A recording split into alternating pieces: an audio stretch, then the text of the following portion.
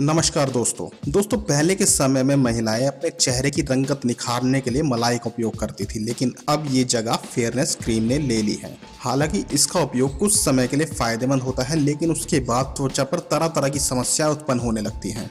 इसलिए अगर आप अपनी त्वचा की समस्याओं से बचना चाहते हैं और अपने चेहरे पर एक प्राकृतिक चमक चाहते हैं तो आपको अपने घर में जमा की गई मलाई का उपयोग करना चाहिए, क्योंकि यह एक नेचुरल मॉइस्चराइजर होता है, जिससे न सिर्फ़ आपके चेहरे की रंगत निखरती है, बल्कि त्वचा संबंधी अन्य समस्याएँ भी दूर हो जाती हैं। तो चलिए दोस्तों, जानते हैं मलाई के कुछ ऐसे फ़ायदे, जिनके उपयोग से आपके चेहरे पर निखार, खिल के निखर आता है। दोस्तों, मलाई हर तरह की त्वचा के लिए एक बहुत ही बढ़िया नेचुरल मॉइस्चराइजर है। चेहरे पर मलाई की 15 से 20 मिनट तक मसाज करके आप पानी से धो लें इससे त्वचा के जो डैमेज टिश्यूज होते हैं, वो सब रिपेयर हो जाते हैं और हमारी स्किन काफ़ी हेल्दी और चमकदार बनती है। और अगर आप ग्लोइंग त्वचा चाहते हैं तो इसके लिए मलाई के साथ शहद की थोड़ी सी मात्रा लेकर एक पेस्ट बना लें। फिर इसे त्वचा पर लगाएँ और 10 से 15 मिनट के लिए लगाकर छोड़ दें और फिर उसके बाद आप ठंडे पानी से चेहरे को धो लें। अगर आप रोज़ाना ऐसा करते हैं तो आपके चेहरे की चमक बरकरार रहेगी। अब कुछ लोग चेहरे की काले दाग धब्बों को दूर करने के लिए फेयरनेस क्रीम का इस्तेमाल करते हैं, जिससे कुछ भी फ़ायदा नहीं होता है।